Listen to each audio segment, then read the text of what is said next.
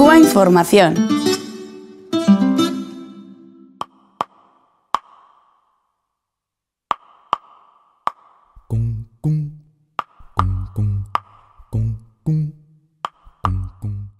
Hoy visita Cuba Información Patricia Rodríguez Alomá. Ella es la directora del Plan Maestro de la Oficina del Historiador de Ciudad de La Habana, eh, una de las eh, personas responsables de todo ese trabajo, yo diría, titánico de restauración del casco histórico de la capital cubana. Hola Patricia. Hola, ¿qué tal? ¿Cómo Un honor tenerte aquí, por cierto, por, segunda vez. Porque ya estamos en familia. Eh, bueno, mm, decíamos esfuerzo titánico el de restaurar la parte histórica de la capital cubana. Eh, bueno, vamos a hablar de muchos temas en esta entrevista, pero me gustaría saber en estos momentos eh, en qué proyectos fundamentales está la oficina, está el plan maestro en este trabajo de rehabilitación de, La Habana Vieja y otras partes también de, Ciudad de La Habana. Hay eh, primero, una, toda una reestructuración que estamos teniendo en la oficina del historiador de la ciudad de La Habana, atemperada a todos los cambios que está habiendo en el país eh, con, el, eh, ¿cómo decir? El, la implementación de los lineamientos del partido, que son los que van dando esta pauta para una reforma grande que está habiendo en el país institucional y económica. Entonces la oficina como parte de todo ese sistema se ha estado reestructurando durante el año pasado ella internamente, bueno, para, digamos, hacer un giro eh, en su forma de trabajar, en los métodos de trabajo, etcétera. Yo diría que estamos cerrando un ciclo, es decir, la oficina empezó a trabajar de una forma muy particular, de manera autofinanciada, descentralizándose sobre todo los temas económicos y yo pienso que por eso ha habido resultados importantes. Fuimos como un laboratorio, en definitiva, de lo que eh, ahora se va a implementar más a nivel nacional, ¿no?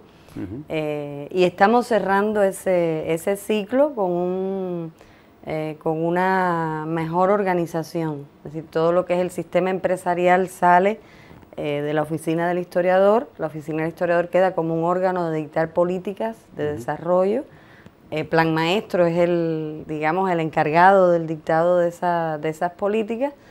Eh, y también la oficina queda, eh, ¿cómo decir?, como una entidad que garantiza, por una parte, eh, todo lo que lo relativo a la cultura y a la administración de la cultura, y también la atención social a grupos vulnerables, etcétera. Es más o menos la estructura que va quedando en, lo que es la oficina del historiador. Y sale el sistema empresarial que va a seguir, eh, obviamente, financiando la obra restauradora, pero bueno, es otra manera de, administrar los trabajos y hay más claridad en, eh, qué hace cada parte, qué responsabilidades tiene, etcétera. ¿no? Una forma de trabajo al interno. es importante explicar esto para entonces luego eh, entender que eso no ha, eh, ¿cómo decir?, no ha hecho decrecer en ningún momento, ha, habido que hacer un esfuerzo mayor, porque por una parte nos hemos estado reestructurando, pero por otra ha continuado la obra rehabilitadora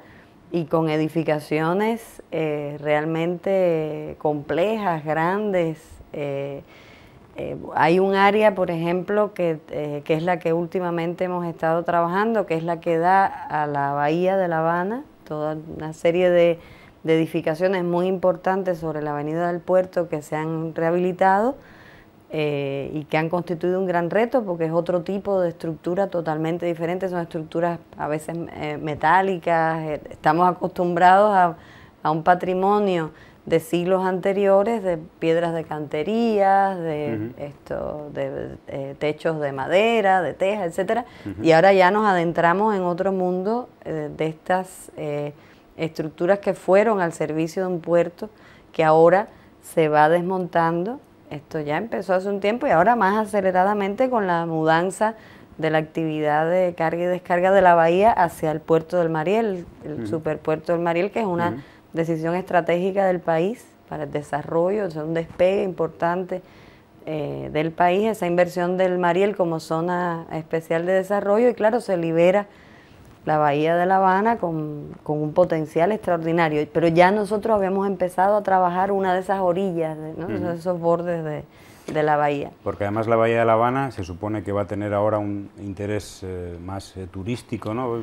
Que, por supuesto, industrial, ¿no? Por supuesto, sí, no, la, el, digamos, la industria desaparecerá prácticamente en su totalidad. Se irá para Mariel, Si todo lo que es la parte eh, la Bahía de La Habana es muy compleja, o sea, tenía una, toda una zona muy importante dedicada a puertos de carga y descarga, es decir, puertos de mercancías, todo eso se traslada al Mariel. Eh, tenía una termoeléctrica que ya está cerrada, hay una refinería que habrá también que, eh, que cerrar en su momento, obviamente. Esto todavía no, pero en su momento. Y ahí quedarán, o ya están quedando y, que, y quedarán una serie de terrenos importantísimos va a pasar algo muy similar a lo que aquí en Bilbao, es decir, la margen izquierda y la margen derecha, ahí va a pasar algo similar, o sea, la margen derecha sería todo lo que es el malecón, que ya está, digamos, en proceso de recuperación. También, hemos hecho obras importantes en el, en el malecón de La Habana, eh, y la margen izquierda pues es todo el perímetro interior de la bahía con un patrimonio industrial muy interesante, muy otra obra que acabamos de inaugurar eh, muy recientemente y que para nosotros es, ha sido paradigmática es el Teatro Martí. Es decir, es un teatro precioso, es una joyita eh, que hemos tardado mucho en, restaurar. Uno, porque se hizo muy cuidadosamente y otro, porque bueno, se le incorporó toda una tecnología de teatro contemporáneo, bueno, para que, de, para que pueda eh, ampliar su repertorio y que llevaba 40 años cerrado, si no me equivoco. Sí, mm. llevaba unos 40 años cerrado. Mm. Después sí se impulsó mucho en los últimos dos, tres años la restauración, pero fue una restauración muy cuidadosa, mm. eran las cerchas de madera gigantescas, todo el mobiliario eh, y sobre todo, eh, insisto en la parte que no se ve, del teatro, ¿no? que es toda la tecnología que lo, que lo, que con la que ha quedado dotado para tener un repertorio muy variado. El plan maestro lleva a cabo cerca de 100, eh, de, 100 obras de rehabilitación en estos momentos, simultáneas. Hay una también emblemática que es la del Capitolio. ¿no? Mm.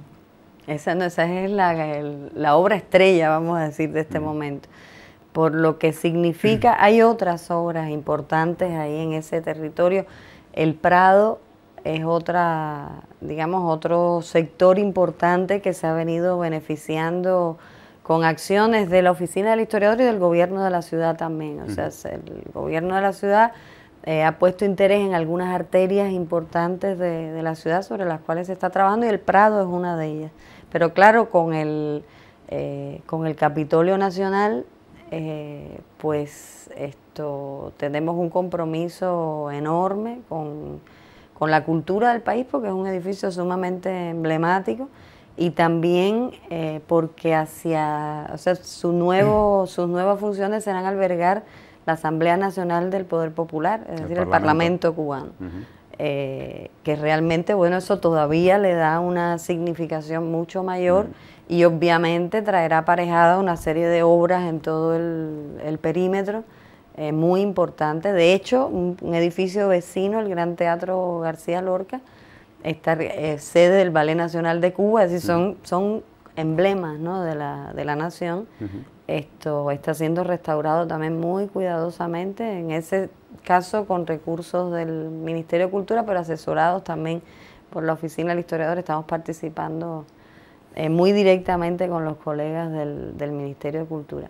Y hace una serie de edificios en los alrededores que eh, se transformarán en hoteles, esto ya no administrados por, por, la Oficina del Historiador, pero sí por entidades cubanas que tienen que ver con la administración del, turismo. Porque hay, es una cosa que en, que en el exterior se conoce poco toda esta labor realmente gigantesca de restauración de, La Habana está financiada, al menos en una buena parte, con los ingresos del turismo, que digamos que entran en, entidades estatales, es decir, que no hay un empresario que se llena los bolsillos con ello, sino que va directamente a un fin social de gran envergadura como es la restauración, que además beneficia directamente a familias que viven, etcétera, ¿no? Claro. Sí, es un realmente fíjate que nosotros no nos gusta hablar de un proyecto o un plan de restauración o de rehabilitación. Nosotros hablamos de un plan de desarrollo integral. Entonces, cuando tú hablas de un plan de desarrollo integral, estás implicando otras dimensiones. Obviamente la cultura es el, el motor impulsor de ese desarrollo, pero estás implicando dimensiones económicas, medioambientales, sociales.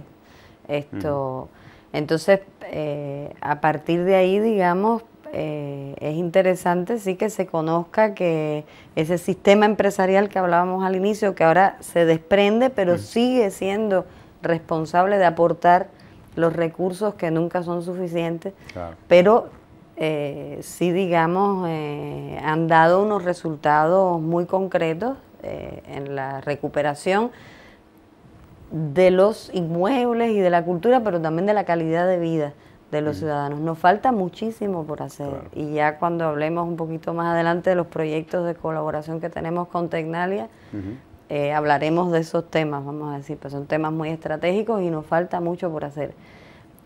pero lo que se ha hecho, se ha hecho fundamentalmente con recursos propios. Ha habido cooperación internacional, pero la cooperación que además se agradece muchísimo porque te permite multiplicar eh, los proyectos, sobre todo de corte social, que es donde la cooperación incide fundamentalmente.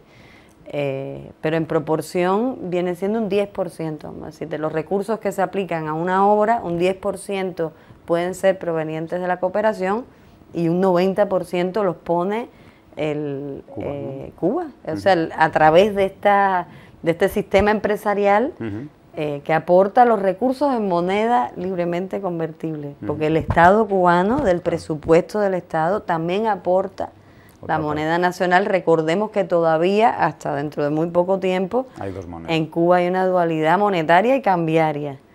Eh, pero bueno, es algo que sí esto o sea, se está trabajando muy duro para eliminar esas dualidades que realmente traen aparejada mucha complejidad a la hora de, sacar las cuentas ¿no? en las inversiones.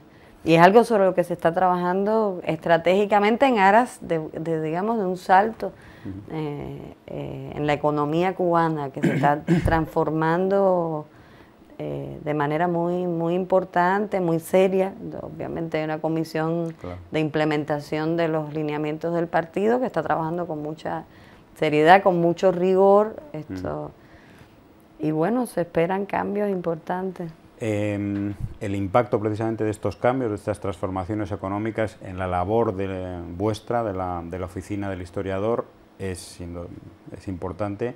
Me comentabas que incluso eh, hay una aportación fuerte, mm, al menos en lo simbólico, de cierto, del sector no estatal a, los, a la propia obra social que se está haciendo en el, en el territorio, por ejemplo, de La Habana Vieja, ¿no? Cómo pequeños microempresarios, llamémosle así, o cuentapropistas, participan también de, eh, de, labores sociales, aportan incluso fondos. ¿Cómo no? ¿Cómo no? Bueno, se está dando eh, yo pienso que estamos entrando en un, en un periodo esto, que por una parte constituye un gran reto, pero por otra parte eh, nos parece eh, mucho más realista por lo diverso que va a ser. Es decir, nosotros como entidad que dicta las políticas de desarrollo, en cuanto a lo económico, siempre hemos hablado de una economía que sea diversa, heterogénea, etcétera. Entonces vamos a tener este sistema empresarial, obviamente, que va a estar apoyando, va a seguir apoyando a la obra rehabilitadora, pero ahora se suman una serie de aliados esto, estratégicos, pensamos nosotros, eh, o sea, darle espacio a la, a la ciudadanía para que participe en el proyecto, en el gran proyecto, esa obra titánica, que es verdad que es titánica, eh, esto en Cuba todo nos cuesta mucho trabajo. Eh, lo hacemos con todo el amor del mundo, pero nos cuesta mucho trabajo. Eh, que se sumen estos nuevos aliados es muy importante. Esto y tener en cuenta todas las escalas, es decir, desde la inversión extranjera que pueda haber, se debe haber aprobado ya el 29 la ley de inversión extranjera, hasta el pequeño emprendedor, todos eh, pueden eh, aportar. Inclusive el pequeño emprendedor es una escala eh, muy favorable a los centros históricos. Yo, yo, digo además que muchos, pocos hacen mucho al final.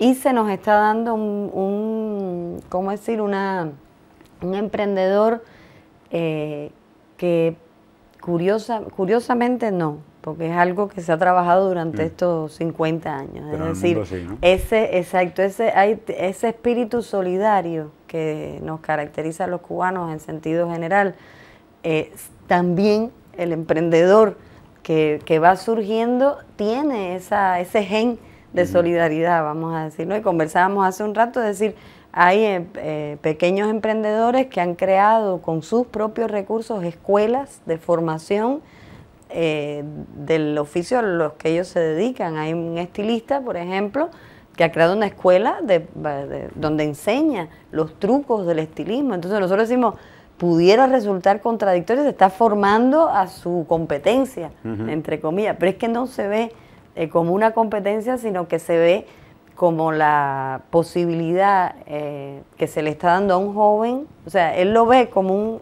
elemento solidario, es decir, él está ayudando a formar a jóvenes para que esos jóvenes, eh, digamos, se ganen la vida, se queden en Cuba, trabajen en Cuba, ofrezcan servicios, eh, colaboren con la, ¿cómo decir?, con la economía del país, en definitiva. O sea, estamos, hay unas transformaciones, lo principal pienso yo que tiene que cambiar en Cuba ahora es la mentalidad.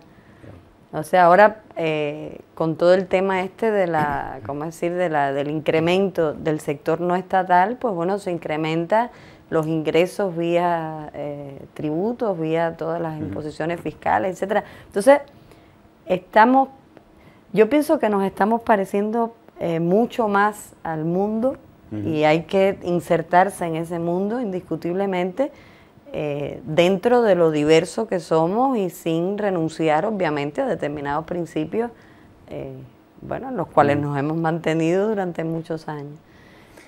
Mm, hablábamos, apuntabas eh, sobre la importancia que tiene también, aunque sea en un 10%, la colaboración internacional y, mm, bueno, recientemente estabas por el País Vasco y por otros lugares del sur de Europa la oficina del historiador y el plan maestro tiene una colaboración especial con, la Fundación Tecnalia del País Vasco.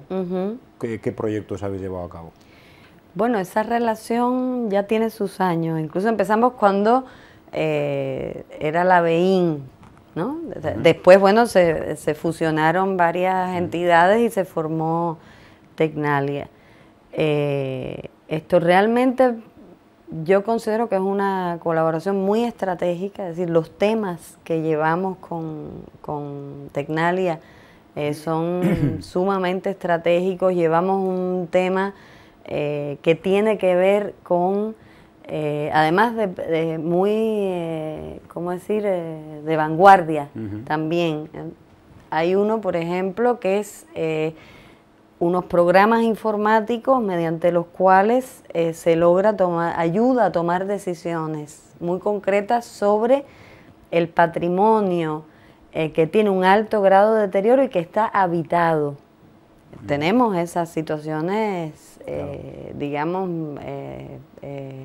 riesgosas, esto, delicadas, vamos a decir. Entonces, por qué edificio es el que, o sea, con, bajo qué parámetros tú decides qué edificio o cuál es la prioridad de intervención en esos edificios. Entonces, bueno, ahí hubo una, eh, un proyecto de colaboración donde participaron especialistas cubanos, especialistas de Tecnalia, eh, y se logró un instrumento eh, utilísimo, porque es lo que nos va a permitir eh, convencer a los decisores, a las autoridades de destinar determinados presupuestos propios para un programa de emergencia, que es como le llamamos. O sea, los centros históricos eh, viven en general, no solo el, de La Habana, ni, no solo los de Cuba, en general nosotros decimos que, padecen una situación de emergencia como de baja intensidad, ¿no? Es como los conflictos armados de baja intensidad. Bueno, es como una emergencia de baja intensidad, es como si tuvieses en vez de un huracán que te pase, que ojalá nunca pase, eh, y, que genera unos eh, desastres de unas magnitudes extraordinarias, bueno, estos son como pequeños desastres todos los días. Entonces, ¿cómo cortar esa, ese círculo vicioso, vamos a decir, ¿no? que genera más deterioro, más deterioro, más deterioro?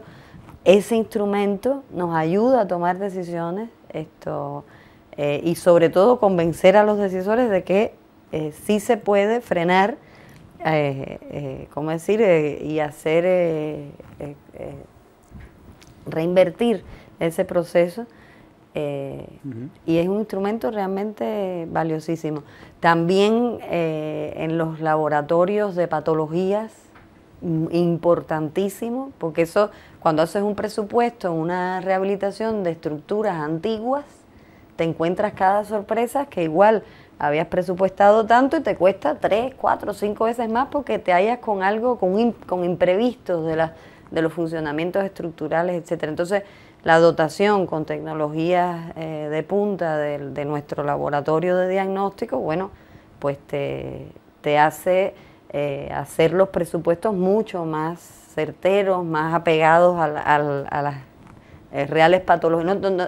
Minimiza las sorpresas esas que siempre son sorpresas desagradables, vamos a decir, ¿no? Esto, también todo el tema de, reciclaje en las obras, eh, de accesibilidad, algo eh, muy importante y muy justo también. O sea, nuestro proyecto es un proyecto que atiende mucho eh, la vulnerabilidad, las necesidades especiales, etcétera.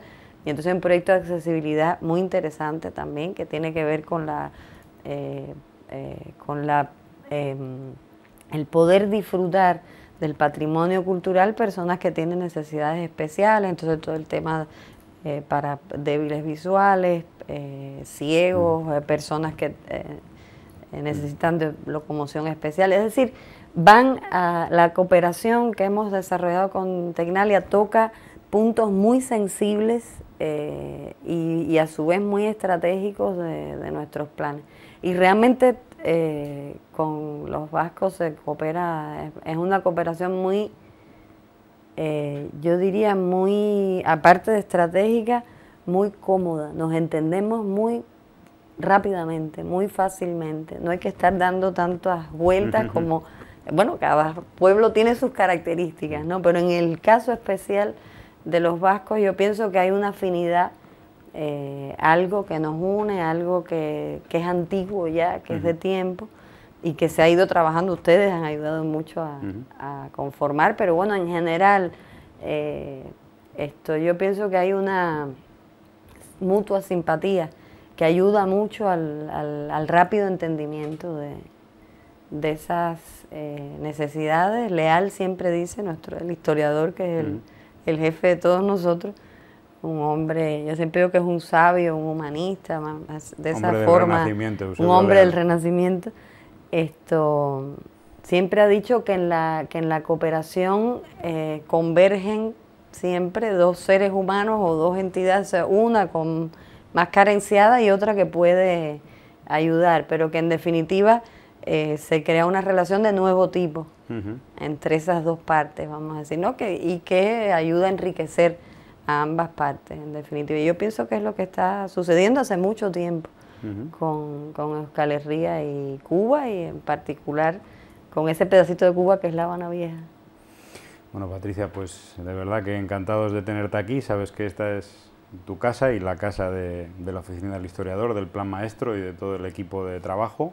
Muchísima suerte en vuestros próximos proyectos de colaboración, de rehabilitación, proyectos sociales y bueno, pues hasta, hasta bien pronto. ¿Mm? Bueno, ojalá que sea hasta bien pronto. Gracias a ustedes.